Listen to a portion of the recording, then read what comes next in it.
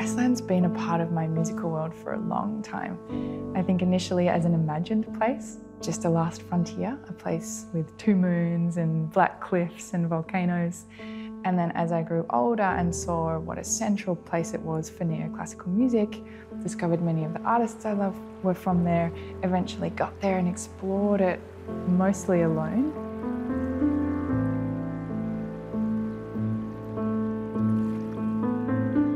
So the music I write is both imagined landscapes and wide open spaces and doors that open to who knows where. I would never say I hope that people feel this one thing from an album, but I hope that people feel and remember that, that they need to, and that they can, and that music can bridge them there.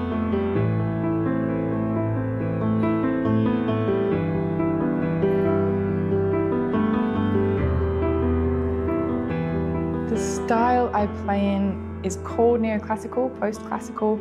Neoclassical is a bit of a misnomer, but I suppose understanding it as a new way of interpreting classical music, which draws on minimalism, which draws on ambient pop, which draws on a whole lot of different structures.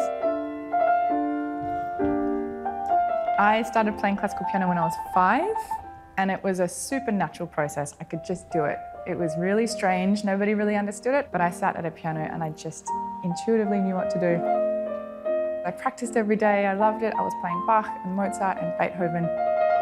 I did lots of classical competitions and performances. I was enrolled in Juilliard for a little while. I was going to go to Manhattan School of Music.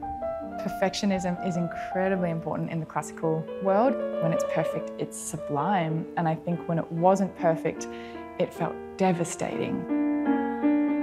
And then at some point I just went, no, it's not feeling right. I felt straitjacketed and I wasn't performing as well in the conservatorium context as I should have. And I went and studied literature and I worked for the circus.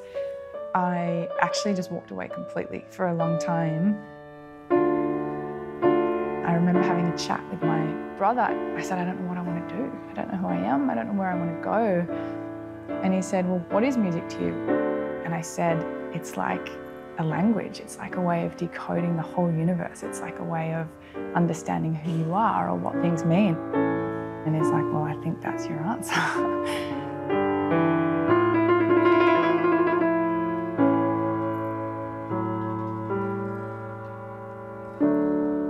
I began writing my own stuff very consciously. Look for chords and look for melodies and kind of try and draw sounds out of the silence and out of the air and out of my memory of all of these pieces that I'd played. Often I will sit on a single note and just try different chords.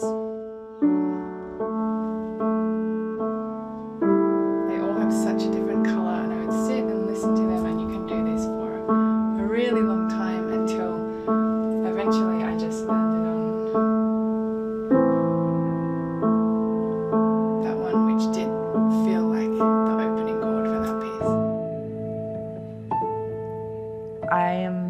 method composer, I've realised lately. So everything I write, I kind of live through it and draw it out of myself. Music is so wonderful like that because it does unlock stuff that's kind of tightly held onto.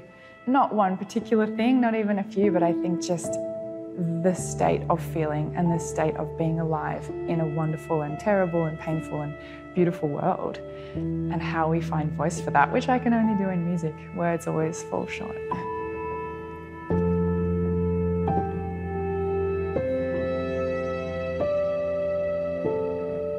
Yeah, a really popular way to perform and record within the neoclassical world is to drop the felts down behind the hammers and have this really muted, felted, intimate, close sound. So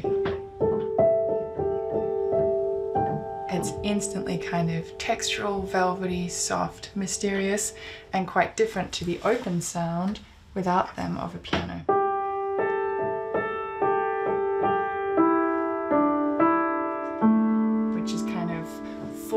Bright and like really resonant when you want it to be.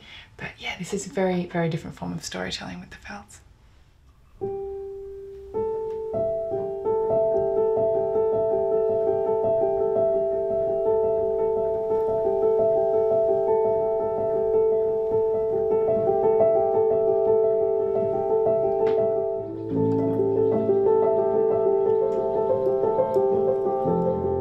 Iceland became a place that I kind of dreamt of. It entered the kind of tapestry of the works that I composed. I composed them all here, um, but I was imagining trips that I'd had. My first album is called Do Not Move Stones. And that line actually came from Anne Carson's translation of a single remaining fragment of a Sappho poem. In different ways, it's woven its way into the music in the sense of I'm interested in memory and voices across time and what we, what we remember and what we look for and, and where we go. Something that interests me in minimalist music is that you can return to a theme again and again and sit with it.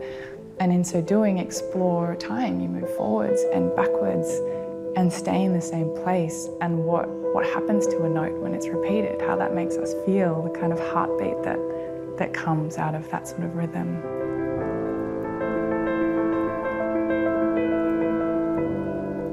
Was quite extraordinary then, having completed the songs, to release them with an Icelandic label and then get to go over there and record these same pieces in a concert hall in this city, in this beautiful kind of iceberg on the water in the middle of Reykjavik in almost a more intimate format.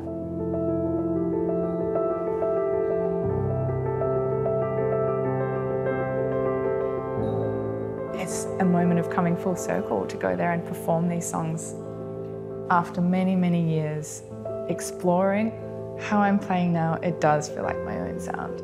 I've come home to a sense of my own voice and my own expression and what it is I want to say and how I might say that.